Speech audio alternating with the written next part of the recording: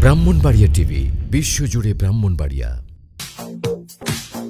সরাইলি পরকীয়া প্রেমের অভিযোগে বিধবার মাথা নেড়া গ্রেফতার চার।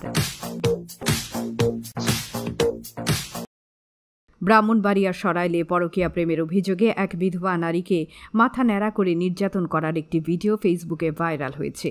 বৃহস্পতিবার বিকেলে এই ঘটনায় চুল কর্তনকারী রাশিদা বেগম সহ চারজনকে গ্রেফতার করেছে পুলিশ। আজ শুক্রবার সকালে আসামিদের ব্রাহ্মণবাড়িয়া আদালতের মাধ্যমে জেলা কারাগারে পাঠানো হয়েছে। এই ঘটনায় শুক্রবার নির্যাতিতা তাসলিমা আক্তার বাদী হয়ে ছয়জনের নাম উল্লেখ করে সরাইল থানায় একটি মামলা দায়ের করেছেন। খোঁজ নিয়ে জানা যায়, তাসলিমা আক্তারের বিয়ে হয় ব্রাহ্মণবাড়িয়া সদর উপজেলার সুহিলপুরে। তার স্বামী ইউসুফ মিয়া মারা গেছেন।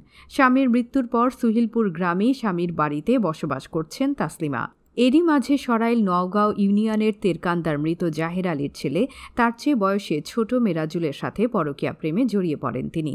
পরকীয়ার বিষয়টি মেরাজুলের স্ত্রী তানজিনা আক্তার জানতে পারে এবং এ নিয়ে স্বামী স্ত্রীর মধ্যে প্রায়ই ঝগড়াঝাটি লেগে থাকে। গত বাইশ জুলাই মেরাজুলের স্ত্রী তানজিনা আক্তার মুঠোফোনে তাসলিমা আক্তারকে তার বাবার বাড়িতে আসতে বলে। তাসলিমা যাওয়ার পর তানজিনা ও তার বোন রাশিদা সহ আরও কয়েকজন মিলে তাকে মারধর করে এবং মাথার চুল কেটে ব্লেড দিয়ে ন্যাড়া করে দেয়। এ সময় ঘটনাটি তারা ভিডিও করে রাখে। সেই ভিডিও বৃহস্পতিবার ফেসবুকের একটি আইডি থেকে প্রচার করা হয়। এ নিয়ে ব্যাপক প্রতিক্রিয়া তৈরি হয় নেটিজেনদের মাঝে। এ বিষয়ে সরাইল থানার তদন্ত পরিদর্শক কবির হোসেন জানান, ঘটনাটি জানতে পেরে অভিযান শুরু করেছে পুলিশ। এই ঘটনায় তাৎক্ষণিক তানজিনার বোন রাশেদা বেগম সহ চারজনকে গ্রেফতার করা হয়েছে। সরাইল প্রতিনিধির পাঠানো তথ্যচিত্রে ব্রাহ্মণবাড়িয়া টিভি।